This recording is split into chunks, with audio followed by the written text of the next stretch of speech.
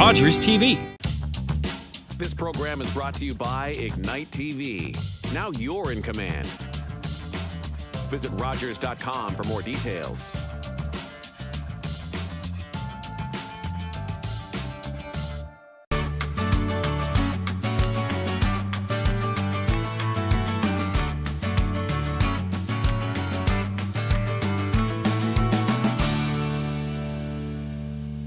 Welcome to Easy Eats. My name is Chef Yves Dechaine, and today we're in the Greener Villages Learning Kitchen with Ahmed Popal, uh, newcomer uh, to to the country and to Fredericton. Uh, welcome. Welcome to the country, welcome to Fredericton, and, and, welcome to the show. Thank you so much for joining us today. Uh, thank you, thank you so much, and uh, my warm greetings to, to the to the uh, viewers of your show. And I'm so happy to be with, here with you and be a part of the kitchen today. Perfect. So, what are, what recipe are you sharing with us today, sir? Uh, I'm going to be um, cooking an Afghan traditional meal or a dish, uh, which has been popular in Afghanistan like for more than six decades. It's called Afghan pulao or Kabuli pulao, and um, it's a it's a meal that you know you can serve in even in breakfast, lunch, and dinner or uh, you know we normally back home we normally make this uh, special dish for our uh, VIP guests and special occasions or you know holidays and Eids and all that stuff. Well, fantastic. So before we get into that, let's learn a little bit about you. Uh, what made you decide to come to our country? Uh, mm, the the thing is, uh, Afghanistan was falling into the hands of extremists, terrorists um, I was here actually, I came to Canada back in 2011 and I was here for a, a, short while and then I decided to go back home and serve there. And I was offered a job there. So I went there and I stayed there until um, the Afghan government collapsed. And then I had no way to, to stay there because I also used to serve for the Canadian Armed Forces back there and uh, that was a threat for me and uh, unfortunately I, know, it's a cooking show but I have to say I lost my dad and my younger brother because of me working there. So they lost their lives there. And then like um, I, I we had no future there, especially my kids. They, they weren't able to make it to the school to go to the school. So you applied refugee status uh, or just through the natural channels? The, the government assisted program, which was called uh, Special Immigration Measures. Okay. That's, that's uh, where I came from.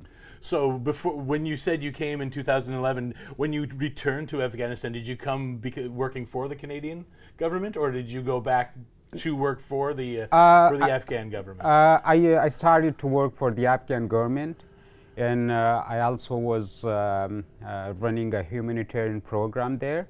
I was just, you know, voluntarily, I had a team and I was donating blood to the people who were in real need, like, you know, to just save their lives. So that's what I was doing beside my, like, you know, formal job uh, or official job. Uh, that, that's what I was doing too. So I was donating blood to the people who are in need.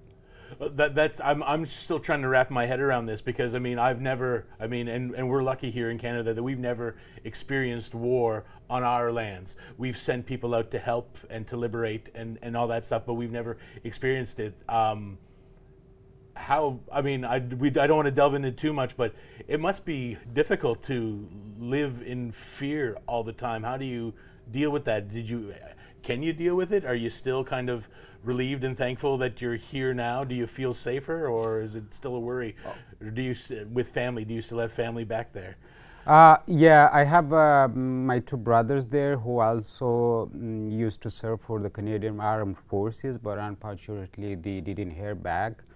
And uh, I'm still trying to pull them out. But the good thing is, I made it here with my kids, and um, I'm living in a safe uh, and uh, great environment. I, am loving Canada, and I hope my my kids and you know the future generation deserve for Canada since it's now their new home and it's our homeland. So um, I'm, I'm really great to be here. You guys have been occupied for a long time. Oh, well, it's, it's been more than four and a half decades now. Wow, yeah. Yeah. So yeah, it, it, generations growing up with nothing but but war. but, That's, but, but war and you know extremism and you know all those jihadi stuff which ruins uh, you know a community a country and their future yeah. Well, Let's stop talking about all of this, but let's talk about how beautiful your country is because I do see pictures and stuff like that. It, it's a beautiful country. And in what part of uh, Afghanistan do you come from? uh, i come from uh, southwest part which is called kandahar and kandahar was uh, once the capital of afghanistan of great afghanistan where like 300 years ago uh, where uh, you know we had some parts of Iran, you know that was Afghanistan, and half of Pakistan was Afghanistan. So yeah, I come from Kandahar, where, where the Canadian whole mission was also there. So You said you worked for government, sir. So uh, what kind of responsibilities did you have over there? Uh, well, I had to work on different positions. I, uh, I used to work as a provincial chief of staff, uh, provincial director of uh, human resources, and then I was um, assigned as a, an advisor to the former president of Afghanistan in youth affairs. So now that you're here in Canada, what are your aspirations? What would you like to start doing? you know, mostly um, uh, interested to work on humanitarian stuff with the people, you know, that where I, it doesn't matter, wherever I'm needed, I'm, I'm, I'm happy and, you know, thrilled to be working with them. And, you So know, you're working now with the with the Multicultural Association here in Fredericton to are, to assist newcomers. Is that do I yeah, understand I, that right? uh, uh, I work with them as a culture uh, broker right now, Okay. just you know to to. Uh, it's it's good for me also, you know, to know the city and the environment, you know, and you know get into the community. So mostly I go to the schools in Fredericton's. You know, if there is any issue with the Afghan students or newcomers, so I go there and you know uh, solve that pro- problem. So I've heard that you started a new association here in Fredericton. Uh, what it's called the Afghan Community of Fredericton. Yeah, we decided to have an Afghan community where we can reach to the, the problems, you know, to whatever issues that the Afghans would face in the future. So I'm trying to work with the Afghans, especially with the, new, the newcomers, you know, to, to work with their kids, their, their, their, their, their women and their families to get into a Canadian environment and, you know, respect everything and uh, do a lot of good stuff that Canada needs or expects from a newcomer, especially Afghans. Uh, I have a, a, a background of experience with the Canadians, you know, in yes. Western culture, so I'm still working with them, you know, to get uh, um, to everything with, with, with a possible and a good way that you know. Um, we, we, we are planning to have some, some events, cultural events, that we're going to show some Afghan events to the Canadian communities that we have some good uh, peaceful colors of life like you know if it, it's food cultural days and then also i'm trying to work with the newcomers to respect the religious issues and all the like you know the cultural issues that they have been new to so they can you know merge into the community and live in a peaceful way We'll be back after these few messages to make the Afghani pulao.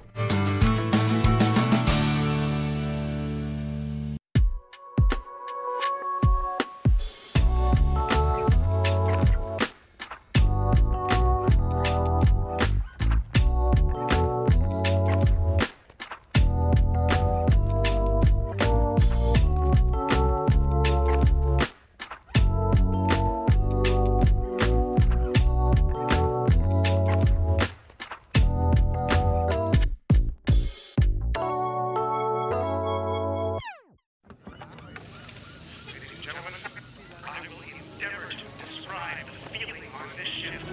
The American ship is just trailing the Blue Nose. Angus should never have agreed to this last race. She's too old. Eddie!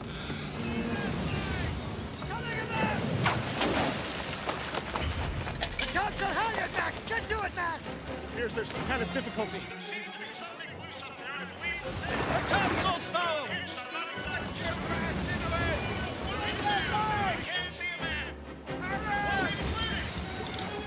Just once more, old girl. and you can rest.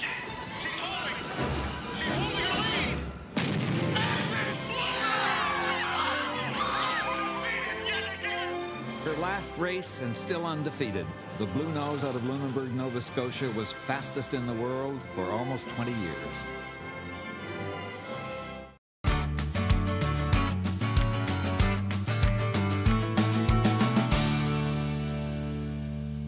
Welcome back to Easy Eats. Again, we're in the Greener Villages Learning Kitchen with Ahmed Popal, and he's going to show us how to make an Afghan pulao. So, what are the first steps, sir, on making this pulao?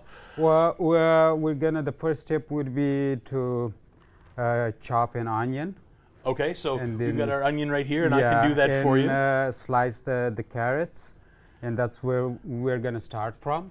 Here we go. While you do the carrots, Yeah. I'll do the onion. Okay, And then uh, we'll, we'll just chat. Um, so, you said that you're from Kandahar. Did you live in the city? I grew up in in in Kandahar city, Okay. I was born in a, a really close uh, district to Kandahar. It's called Arghandab okay. district.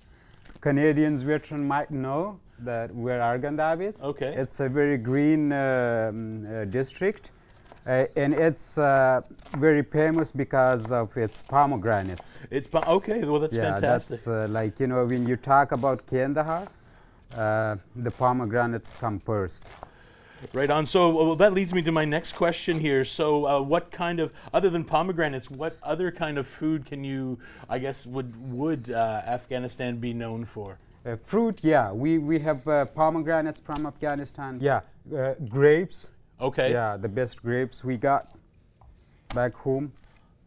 Now, what kind of climate, I guess, would you uh, w- would you associate, or I guess where you grew up? Wa- Is there? Um, I know that there's some climates that can be extremely cold. Is it cold like here, or Uh, the the first coldest uh, winter I'm experiencing is uh, experiencing is uh, right now in Fredericton wow? 'cause- because we never get snow back where I live, where I come from. okay. So uh, yeah, we're in the south part, southwest part, and we we get snow in the north northern Afghanistan, but not in the southern.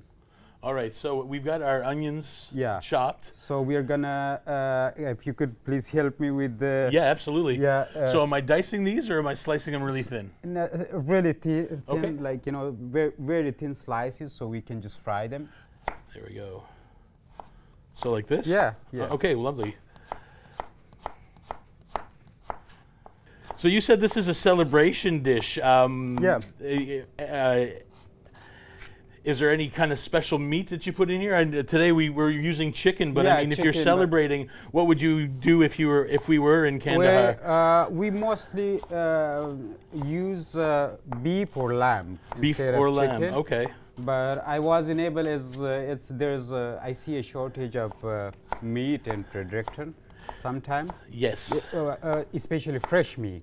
So what we do is like you know Afghans, uh, they don't use frozen, uh, you know, food or meat or you know all that stuff. Now is that a uh, a cultural thing? Okay. Yeah, yeah. Because you know if you freeze it, then the taste goes away. Well, i- i- it, changes. Absolutely, you're right. So mm I had to use beef, but uh, I didn't get beef, so I said let's do chicken. with chicken. And you know what? That works out great because beef nowadays is really expensive. And, Yeah. and your chicken legs are, I guess, more affordable to people than. Yeah. Uh, exactly. now, Ahmed, is this? Uh, do, do you follow? Uh, do, do you follow a, an halal diet? Is this uh, is this halal today? Yeah, yeah. Perfect. So that, and then we're going to do a couple cloves of garlic, Yeah. right? Uh, and, and not just to chop them, you know, we can just t- uh, take the, the, the, the skin out of it. Yeah. That's it. Oh, that's it. We're just going to leave it yeah, whole. yeah. Oh, wonderful. We'll just take the root out. Yeah. Okay, so now that we've got what, what we call our mise en place or our prep together, what are the next steps? Uh, okay, the next step would be to put some oil in the pan. Okay, so how much oil will we put into this? Uh, can I put it? Yeah, yeah, go right ahead. You're you. Uh, I'm I'm just doing all the grunt work. You're doing the cooking. Yeah. So we're putting So- in probably Yeah. probably about a quarter cup or so. Yeah. Okay. And then now uh, we have to put uh, the onions. Onions in first. Yeah. Okay. There we go. And some And then the bay leaves. Bay leaves. And bay leaves are great. They're uh, they're they're like a subtle flavor. It's one of those things where It gives a good taste You don't really taste it, but Yeah. it's if you Yeah. if it's not there, You can feel the taste too, but I, guess mean, that's you what know, it is. yeah. Is you can feel the feel the taste. There we go. So we're gonna bring these up and just kind of let them saute yeah, a little bit. Yeah, we we're gonna let it uh, uh, to to fry uh, for, for a little while, and then we're gonna add uh, uh, the chicken. okay, and then the Yeah. chicken we just add whole. Yeah. Okay. Yeah, yeah, we fry the chicken, and then that's it. And then uh, we have to boil some water, and then Okay, put all the stuff. Lovely. I notice on, on the on the on the cutting board here we've got our bay leaves. Yeah. We got a little bit of garlic, but those right there. Can you tell me what those spices are? Yeah, black cardamoms. It gives a good smell uh, uh, to the to the rice, and uh, yeah, I don't know what do you guys call these. That's star, star anise. Yeah. star anise. Yeah. So these all uh, also give a good and better taste to rice, especially when you know you you cook or make a rice dish, and uh, also gives good smell, good taste, and with the bay leaves, yeah, garlic. No, it seems pretty simple. I mean, the cardamom you usually see ground up, but Yeah. uh, ground up uh, a lot of times it, it's overpowering. So it's kind of nice that the the whole and now and that being said as well is that here in Fredericton, uh, our our accessibility to spices like that Yeah. have blossomed since. We've had a, an influx of, of immigration into the city. Yeah. So we're seeing little shops pop up Yeah, here and there that are specialty for Middle Eastern, for our Thai friends and stuff like Yeah, that, which I think is Asians. fantastic. Yeah. So now we're just cooking this until it, it, it just kind of Yeah. smells nice, right? Yeah, uh, until it gets uh, its color changed. Okay. and so then we're gonna uh, put the uh, chicken in it. You know, in Canada, what I mostly find is uh, fries, burgers, and pizzas, and all that stuff. But I mean, if uh, such an Afghan dish has been produced, whi- which we do have back in Ontario and BC, so it's a great food. Like you know, I mean, even we can use it for a breakfast.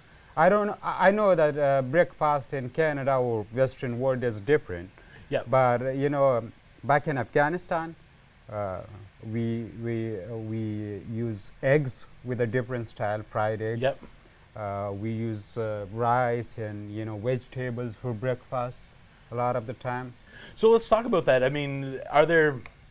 How do people get their food? Is it a lot of home cooking? And if people don't cook at home, is it is there many restaurants there, or is it more like street vendors and markets? There are a lot of restaurants and there are like street foods uh, out on the corners in the city, but, but mostly like 99% people they cook the, their food in their homes. at home? So So when they uh, need uh, some food or whatever meal they, they desire to have uh, from outside, they just order it.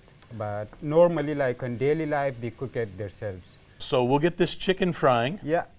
and then once So, we yeah, get let's let's put the chicken. right there, perfect. And you said that this can be done with with any kind of meat. Oh yeah. And this can be, be done Beef vegetarian as well, Yeah, right? yeah. I mean, you know, vegetarians can use potatoes and all that stuff, but you know, normally when it comes to Afghan pulao, it should be meat. It, sh- it should be meat. Yeah, okay. Afghans love meat. Uh, oh, perfect. Okay, wonderful. We'll be back to finish this pulao right after these short messages.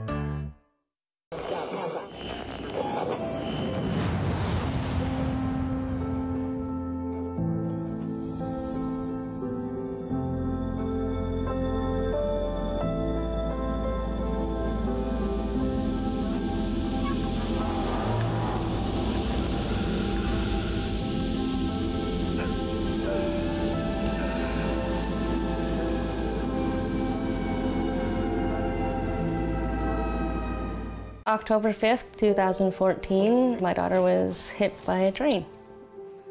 She was walking along the sides of the tracks, and it shattered her world.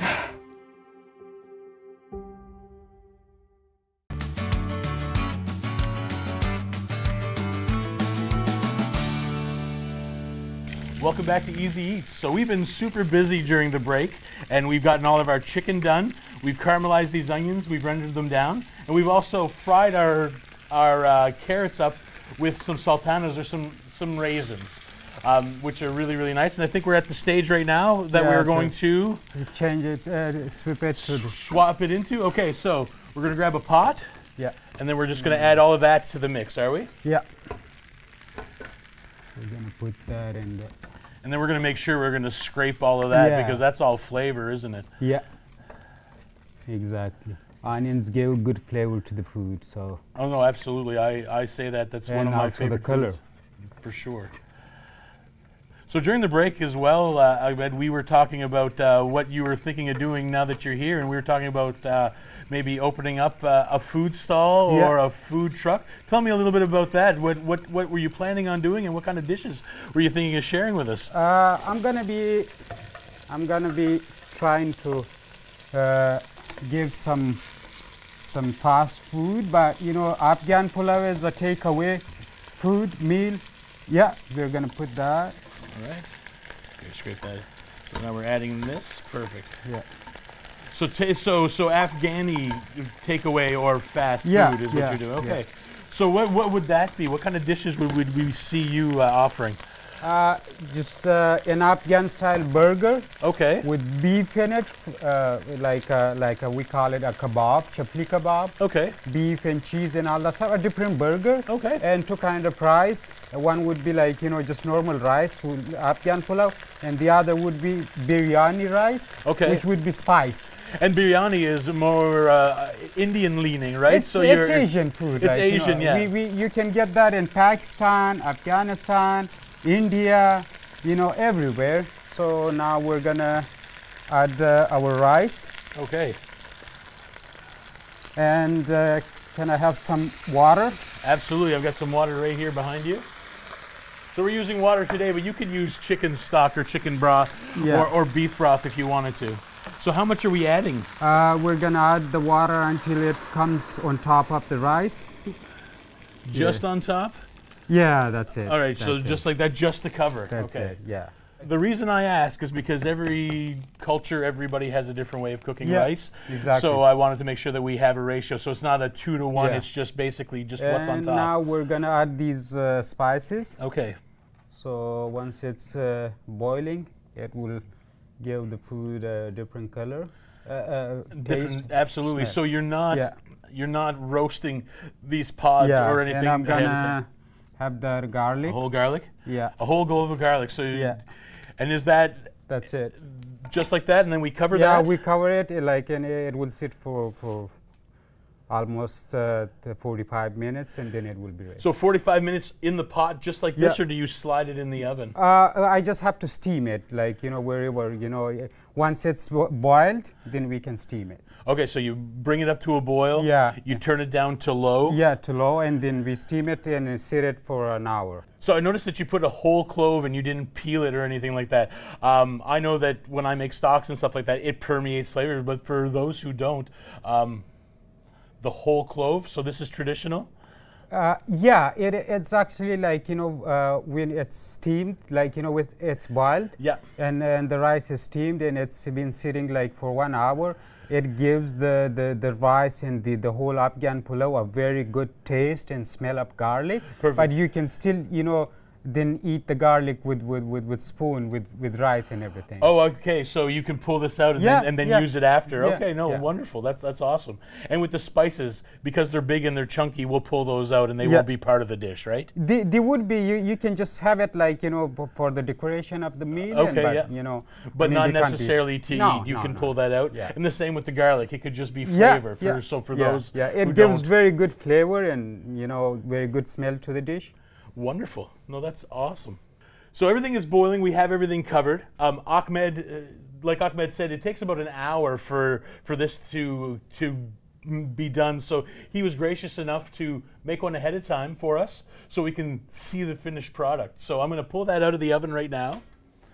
Wow, beautiful dish, just like that. You see all the chopped um, uh, The carrots that we did later. Okay, yeah. And then raisins and you know color up the, the onions on the rice. Okay, perfect. Yeah, and chicken. No, that, that's lovely. This is a beautiful dish, and you said that this is uh, for celebrations, For celebrations, for VIP yeah, guests. yeah. Um, would this be something that you would just on special occasions? We could eat this every day since it's a very strong dish. You know, Yeah. when we, especially when use uh, when we use uh, beef or Yeah. lamb. So I mean, you know, it uh, Afghans are like you know, um, they don't have a good uh, economy and uh, financial life. So sometimes you know we just make this once a week, like you know, for the kids and. Who, like you know, so like a guest- Sunday Yeah, dinner yeah, sort of yeah, thing to get together with family. So I guess th- would the dish show the prosperity of the family? Yeah. So the more meat in in this, Oh, the, the richer the family. Not the richer the family, but that means that the kindness of the family. I think I'm going to give this a try. If you want to join me, Yeah, sure. and then sure. uh, yeah. I'm always this is my favorite part of every episode. So I'm going to try to get a little bit of everything, just like that. Mm. No, this is really nice. It's subtle. It's nice and earthy, and then those raisins give it a really, really nice sweetness to Yep. it. Thank you so much, Ahmed, for uh, for sharing this dish with us, for sharing a little bit about your your life in Afghanistan and what you did, and uh, and a little bit about your culture. Thank you so much for joining us today. And it was uh, it was a pleasure uh, of mine to, to be a part of your show and you know to represent an Afghan meal or dish, and yeah, long live Canada. Right on, and, and hopefully we'll see some of uh, this being offered soon in, at a farmer's market or in a stall or in a food truck n- I- I nearby. hope, I hope that happens soon, and I'm trying to work on this like you know daily, to, to represent an Afghan food to the Canadians, and they will really love it. I'm sure they will. Just a couple of these bites, and, and I'm sold. As soon as you open up, I'll be your first customer for sure. Thank you You're so welcome. much. Thank you. Thank you.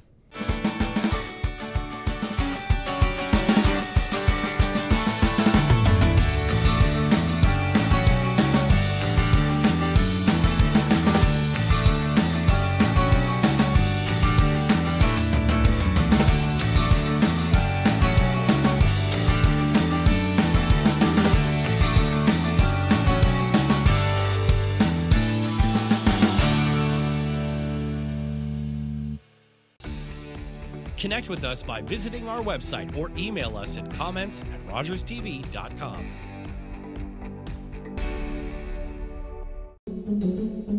My name is Chase Nicholas. I am a Mi'kmaq hockey player. Growing up, I always remember my family talking about the Mi'kmaq as the creators of the game of hockey. In grade 7, I did research on Mi'kmaq hockey sticks as the first sticks of the NHL. I found a Mi'kmaq hockey stick made in 1917, the same year the NHL was formed. I was surprised to find out the very stick I was holding was made by my great great grandfather, Alexander Cope. In 1934, an elder known as Old Joe Cope wrote a letter to the Halifax Herald claiming the Mi'kmaq created hockey. I found out later that I am a direct descendant of Old Joe Cope. There was a time when Mi'kmaq children were torn from their families and not allowed to speak their language, losing their words and stories. But the stories are coming back to us. Stepping on the ice, I take pride knowing the roots of the game of hockey stem from my ancestors in the Mi'kmaq Nation.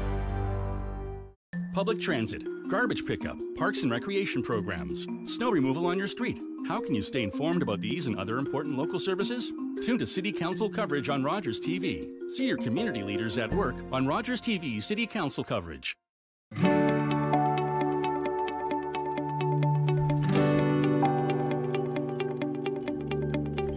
This is Rogers TV.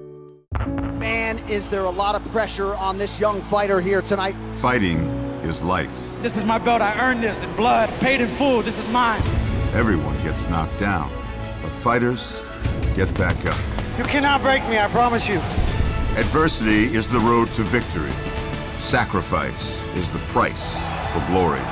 The very struggle for survival is